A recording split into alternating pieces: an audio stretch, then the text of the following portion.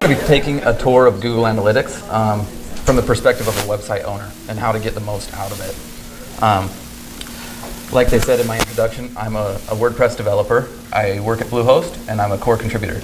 Um, you can find me on Twitter, Mike Hansen Me. You can. My website is mikehansen.me. Uh, I have not blogged to there for a very long time, but it has a contact form. so if you need to ask me any questions or uh, follow up with me in the future, that's the place to find me. So analytics can be a little intimidating. Um, there's a lot of really great info out there on the, all over the internet, but sometimes it's hard to even read it and make sense of it. Um, so if at any time during the presentation, if I say something uh, and you don't understand the word, please raise your hand and ask, and I will do my best to describe it as simply as possible. Um, so um, a few things that I just want to differentiate right now before we start is um, users and visitors, two different things. Users are you, the site owner. You're a user on the analytics account. Whenever we're talking about users, we're talking about you. Whenever we're talking about visitors, we're talking about your traffic. Um, we're also going to be using account, property, and view um, to distinguish. Well, we'll get into that, exactly what that is. Um, but they are different, and so if there's any confusion there, please ask for some clarification. And then metric versus dimensions. Um, a metric measures something, and a dimension describes something. So when you're reading these articles online and you're reading it and you're trying to make sense of it, those are those are some things to, to try to keep in your in your mind. So, uh, so this is where does the analytics code go? It actually it goes right before the body tag in the head tag. Um, so if you're looking at your site and you're looking at the source code on your on your site, you'll want to find wherever the closing head tag is right before this and put your analytics in there. Um, one thing you might want to look into is if you're using the ga.js file, that is the old classic analytics. Um, it will be deprecated for Universal Analytics, which is the new analytics. Um, everybody's using the new analytics, whether or not you're using the old JavaScript file or the new JavaScript file. It's just whether or not uh, you get the benefits of Universal Analytics. Um, Google is not WordPress. They will deprecate it. So make sure that you get that updated. Um, so the first thing we're going to talk about is dashboards. This sounds like it would be the place you land when you log in, but it's not. Um, by default, the place you land is audience overview, which makes sense because that's probably the main thing you're going to look at. But dashboards are really helpful. And you can create a new dashboard. This picture isn't great, but you can see here um, it says new dashboard, create new dashboard. So if you click that, and it'll allow you to create little widgets of stuff that's important to you. So this is the kind of stuff you might put up on a wallboard in your office, just to look at it passing. Not super detailed, just a quick overview. Um, dashboards are a per user thing. So remember we talked about users. You might have five users and you have your own dashboards. So feel free to build dashboards, make, make the best use of it you can. But they're also shareable. You can share them across multiple users. So if you want to share it with your boss, your coworker, whoever, you've built this great dashboard, you can do that. Um, when you create a dashboard, there are templates if you just need something fairly simple. There's also advanced options where you can go in and create anything, basically anything you can do in analytics, you can also create and put on your dashboard as a widget.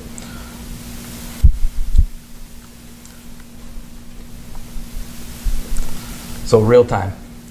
This one seems exciting. You look at it, you probably look at it too much.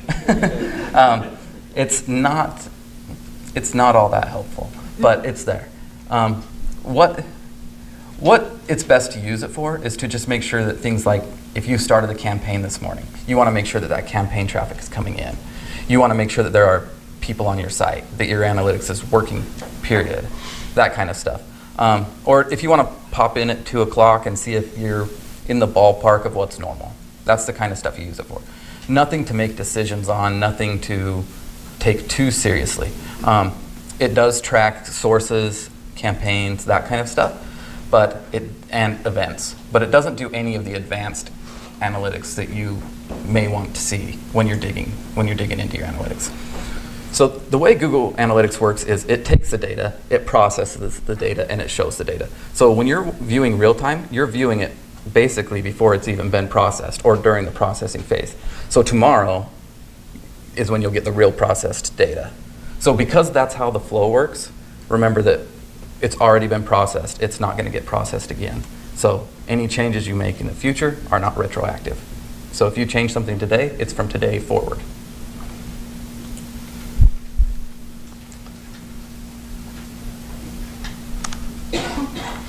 So the, the audience acquisition and behavior. This tells you a little bit about who they are, how they got there, why they're there, and what they're doing.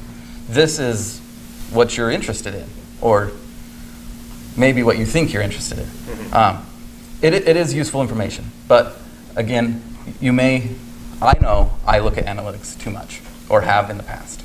Um, and so, but audience tells you who your visitors are, who they are. Um, not, not, nothing personal identifiable about them, but more of a stereotype of your general visitor. Um, there's also, in audience, there's also a user flow, which is nice because you can see the, the path most traveled, basically. Um, if 80% of your traffic's coming to this page, they're going down a specific route and they're exiting, maybe that's the area you should focus on. And maybe you should figure out why they're not visiting the other pages. Maybe they're hard to navigate to, maybe they're just not all that helpful, that kind of stuff. Um, but that's one of the, the interesting. Just remember, this is who, who, who your user is. Um, acquisition is how, where, why. How did they get here? Where did they come from? Why are they here? And am I giving them what they're looking for, right? So this is how they, um, this is just when did they come? Where do they live? All this kind of stuff. Um, pretty helpful stuff, especially when you start combining this with your marketing efforts. You might realize that you have a ton of traffic from Texas for some reason, and you might start marketing to, to just Texas and seeing your conversion, but also follow your conversion rate and make sure that that marketing is working. So maybe you're just getting lucky, and the more you push, the less you make and you just realize that this is a nice little thing and it's happening. Let me improve elsewhere. So everything in analytics should be about making your website better, making always improving your website, and so that you can get more out of it. So like I say, in the example of Texas, you have all these people from Texas that are buying things, all that kind of stuff. It's great. You don't. You may need to take a second look and try to improve it. If you do try to improve it and it doesn't improve all that much, or maybe it uh, it goes down, then you might realize I don't need to mess with this. This is working. Why is it not working elsewhere? So then you start improving in a completely different area. And behavior. So behavior is what they're doing while they're on the site. These are uh, events that are getting fired. Um, these are pages that they're viewing. These all of um, just the user or the, the visitor's behavior while they're on your site. How much time they're spending on each page, that, that kind of stuff. There's something in there called site speed, um, and it's not, it only runs on a portion of pages, but it's, it's good to know because if you have a specific page that has low traffic, low conversion, high exit rate, that kind of stuff, you might want to take a look at your site speed and see how, you know, is that page loading slow or not. Um, there's, this is where you can also link, there's also additional metrics and dimensions for AdSense. Um, this requires linking to your AdSense account. Google really likes it when you link all of your accounts together, Webmaster Tools, AdSense, Google Analytics. You get more out of everything when you link them together, and you can do it all from your, your analytics dashboard. There's a, this is also where you can run content experiments. Um, this is basically A-B testing. And so while you're looking at your analytics and you want to improve things, um, you, you'll want to use content experiments to swap out copy, swap out pages, all that kind of stuff, just to make sure that you know everything you test is getting better before you deploy it, that kind of stuff. So again, don't just make decisions and just see what happens. You can roll it out to a small percentage. It has an algorithm that basically takes the pages and says, okay, this page is doing really good. I'm going to give it a little more, give it a little more, give it a little more. If it's doing really bad, it'll pull it back so that you don't lose a ton of money or a ton of conversions or that kind of stuff. So it's a safer way to A-B test. Um, there's in-page under behavior as well. And this, it's kind of cool when it works. Um, it's, it's an experimental feature. Um, it's still in beta. And but it will take you to your site and it will show you a heat map of where people click and what they're doing on the site. And so it's really cool when it works. It gives um, some data as to what your users are doing and and you can see what, what's working on your site and what's not. Maybe you have a giant call to action that's not even getting much attention. And, but maybe you have some ad or something, uh, I don't want to say less important, but something that's not supposed to get as much attention as your main call to action that's getting a ton and so you might want to reevaluate that, move it somewhere else, move your call to action somewhere else, make some improvements. Um, like I said, everything in analytics, remember, is to make your site better.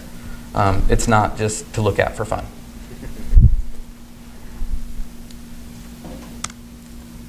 So in order to get the most out of analytics, you need to be tagging all of your links all the time.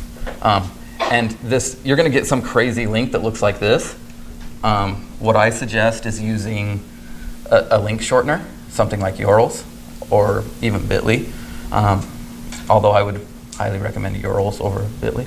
Um, but if when you tag everything, this is going to come up in your analytics dashboard under the proper thing. Otherwise, Google Analytics is just guessing. what over Bitly? Uh, YOURLS.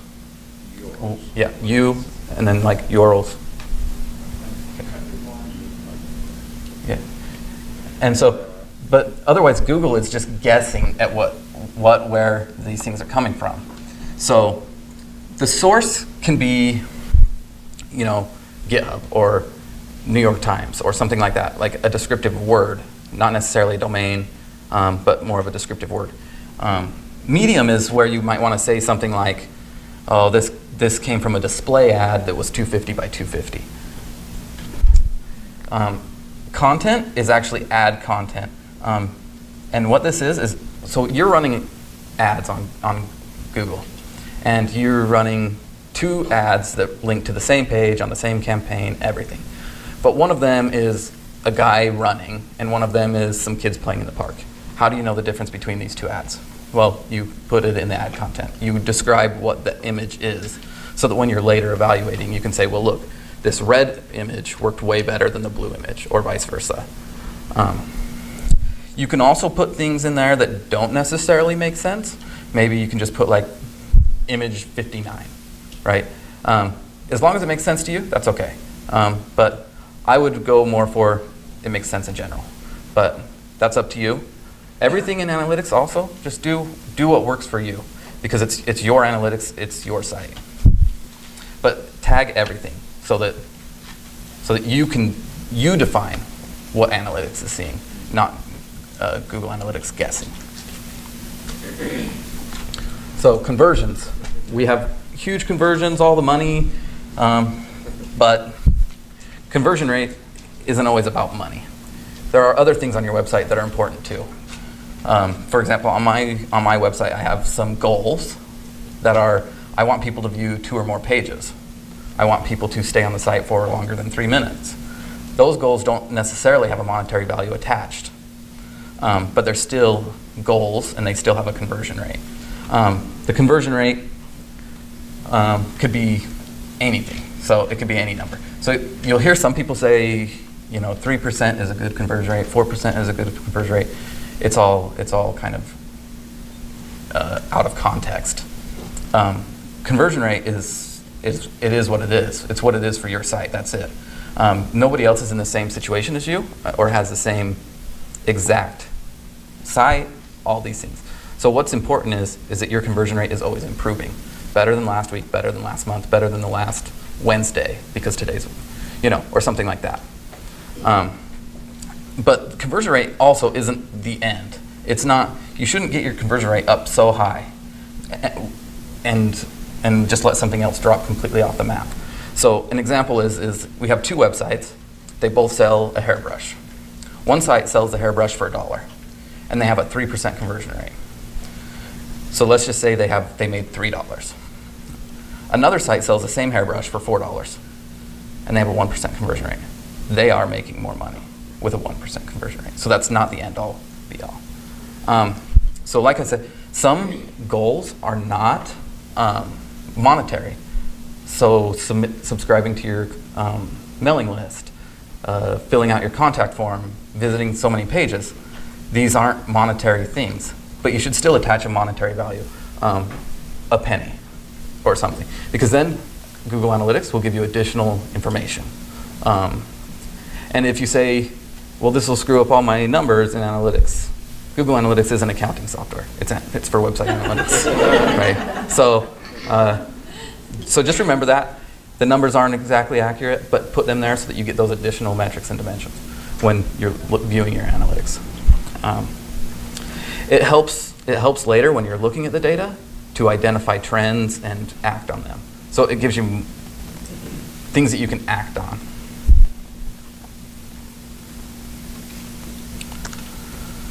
So attribution. Um, so now we have our, this website, we have everything, we're selling things, and people are checking out, and the website's making money. But who do, who do we give credit for that? Um, it depends. It, it really depends on your website. So if you're a small website that has a hard time getting visitors, and the introduction to your brand is very important, you might, you might look at something like first interaction as being more important because getting them introduced to your brand is more important than them coming back because they'll come back on their own or they'll come back through other ways. But them just knowing who you are is very important. Now, do you think Amazon cares the first interaction? I, I doubt it. Um, I would imagine that Amazon cares about the last interaction. Where did you come from when you bought this? Because you've already been here a hundred times before. So, um, just depending on your business, depending on what you're doing. I know this is a lot of it depends, but it, that's true. um, so, in the ones that I like the most are linear and time decay because I, I just feel like everything's important, but on on your common sites, your small business sites, your you know your local sites, um, but also time decay because it is it is important.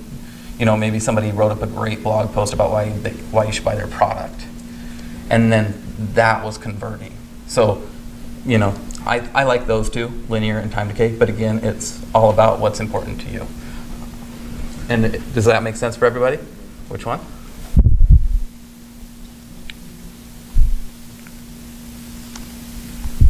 Okay. So the administration screen, how many people have ever been in this screen in their analytics?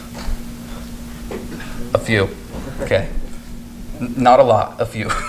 Uh, this screen is powerful. Um, this is where you start turning your analytics into useful. Um, you, this is where you can create new views. So you can have one website, one analytics tracking code, and you can be tracking that data in two views. And those views can do different things. So remember we talked about it collects the data, it processes the data, and it then displays the data tomorrow you can process the data twice in two different views.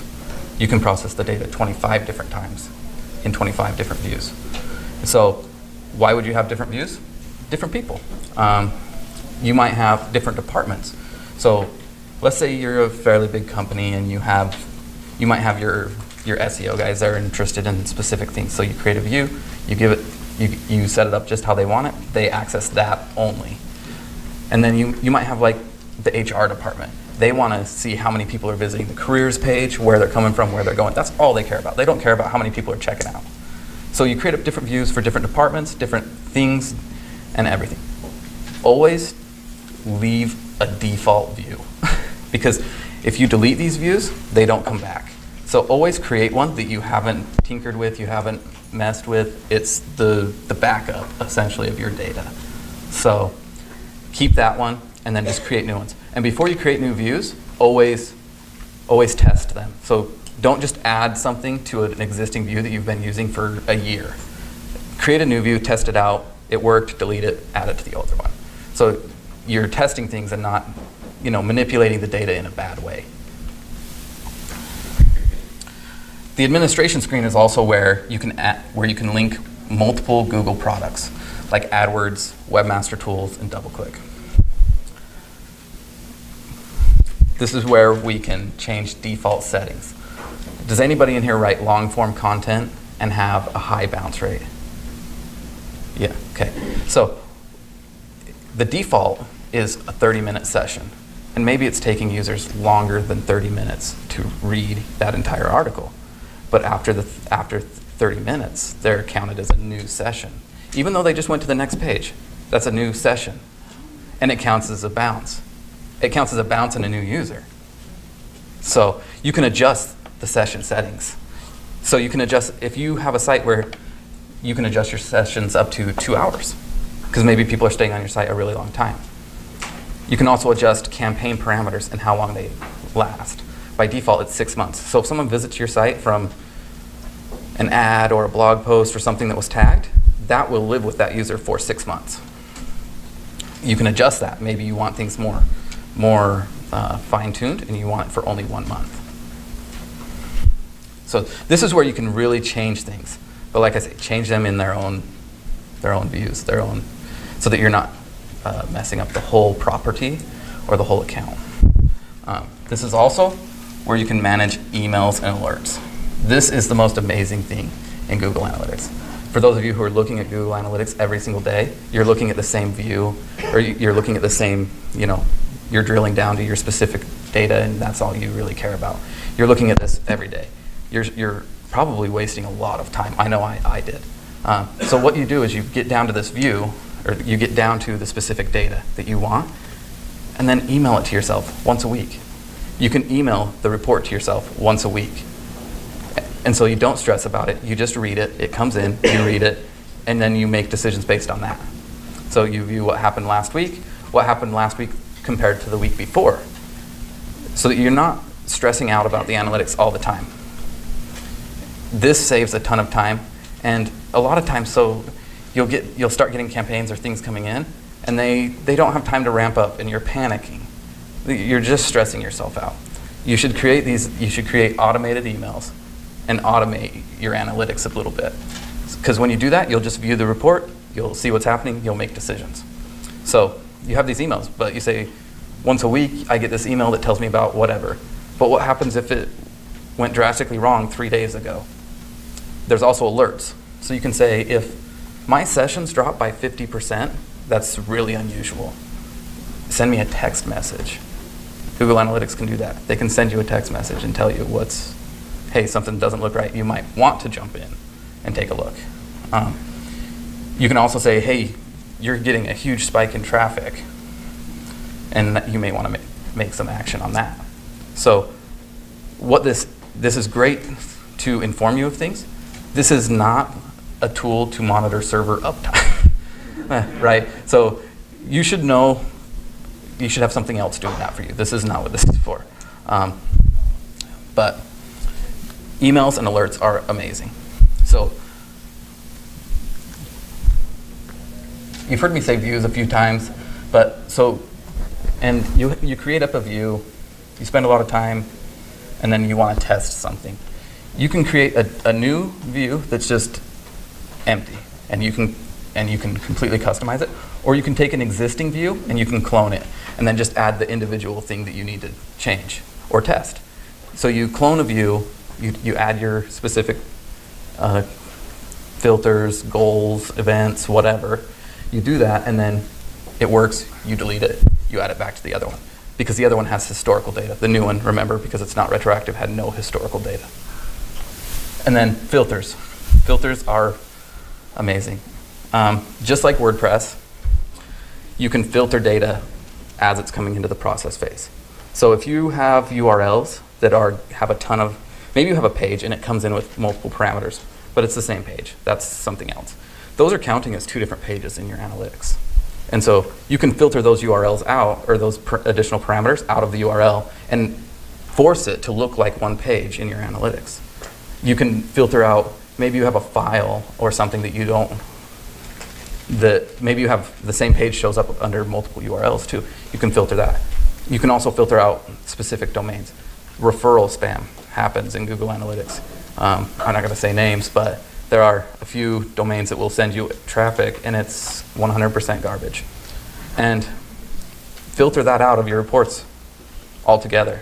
Um, so that's where this is done. You can also filter based on location. So, for example, you're a small tire shop in Wyoming and you have a website. And you create a filter that says, show me my visitors from Wyoming. Because that makes sense. You don't, you don't really care what people in Florida are looking at your website. You, you don't, because they're not going to drive to Wyoming to buy tires. Um, they're going to go somewhere in Florida. So you have your backup, you have your, your view with just your state, just your area. It can get pretty specific. And then that's the data that you might want to count as being more valuable than just the giant bucket of data that Google Analytics gives you by default. User management. Just like WordPress, you need to manage the users in your analytic. So you, you are the account owner, and you give a user access to a view or a property. You can choose what, what level of access they have. You can give them read and analyze. They can't delete anything, they can't add anything, they can't change anything. This is probably a good idea for most users. Because you give someone access to your analytics and they accidentally delete it, it's gone. Like you can't get it back.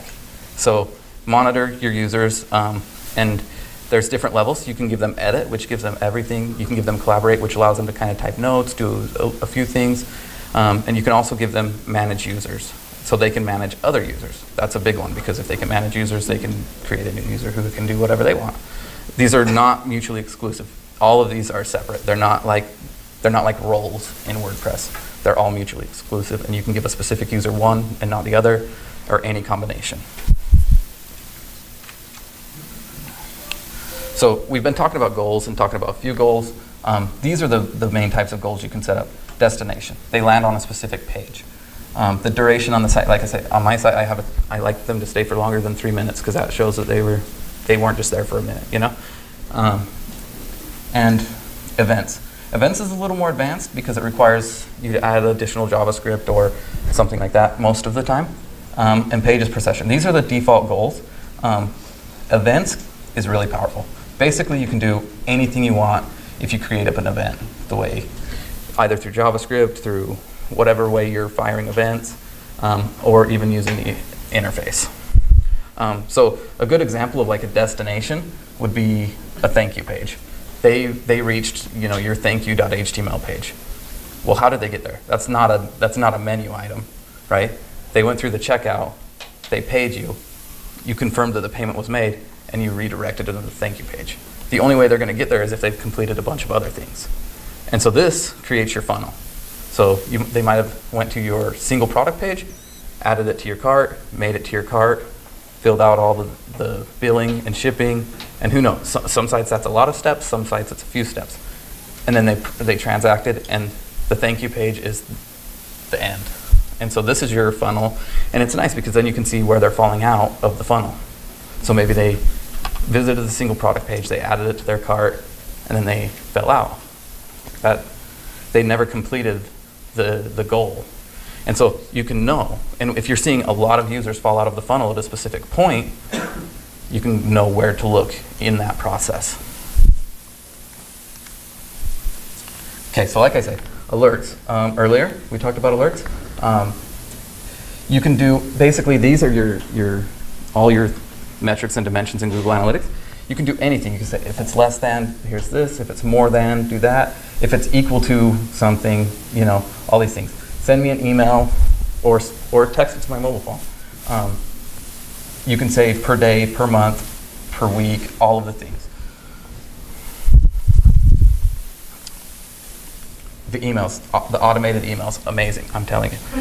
Especially with your boss wants a report and you don't want to give them access to the analytics because you don't want them in there looking around, messing things up, all that kind of stuff. Set up an email and send it to your boss once a week so that he can see it. This is for users who, this is for everyone. It's for you to quit looking at your analytics so much, and it's for you to send to other people who you don't even want to have access to your analytics. So um, the email reports are are great. Forwarding them, or can you set up 30 emails in there and send them direct to? You can put their email in there, and you can also put who it came from. So you can put that it came from me, and it's going to you, and Google Analytics handles that. So.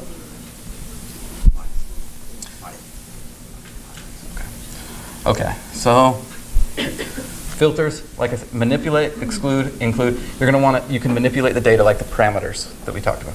You can exclude the spam referrers, or you can create an include only. Maybe you have a really big referrer, and you want their data all on its own. You can include only data from them, and to monitor that more closely, to make more actionable data. The tracking, you can track the campaign life, session life, search sources. Search sources is a big one. And in WordPress, we know that the parameter is S, right? So you go in under your administration panel, under your view, turn on site search, put an S in that box. And you will start seeing in your analytics what your users are searching for. That's the best piece of data you can have. Because they're on your website, they're looking for something, and they either found it or didn't find it. So that's something you should set up today. So I was going to jump into the dashboard and do show a few examples, but it sounds like we're about out of time. Um, but so but I will jump in just for a quick minute and show you where these things live. So. Um,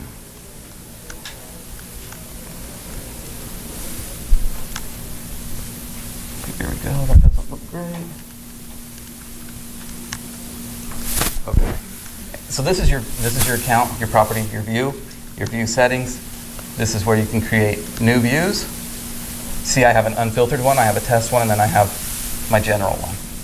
You'll want to do this.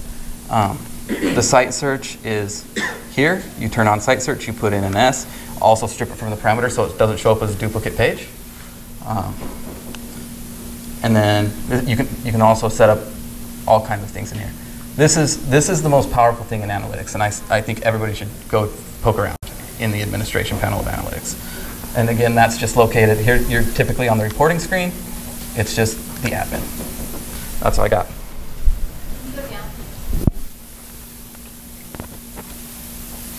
This is the ad.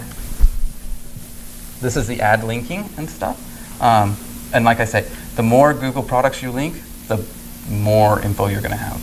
And it's not just, like I said, it's not just to look and see who, how many people visited stuff. It's it's actionable data that you can make decisions on.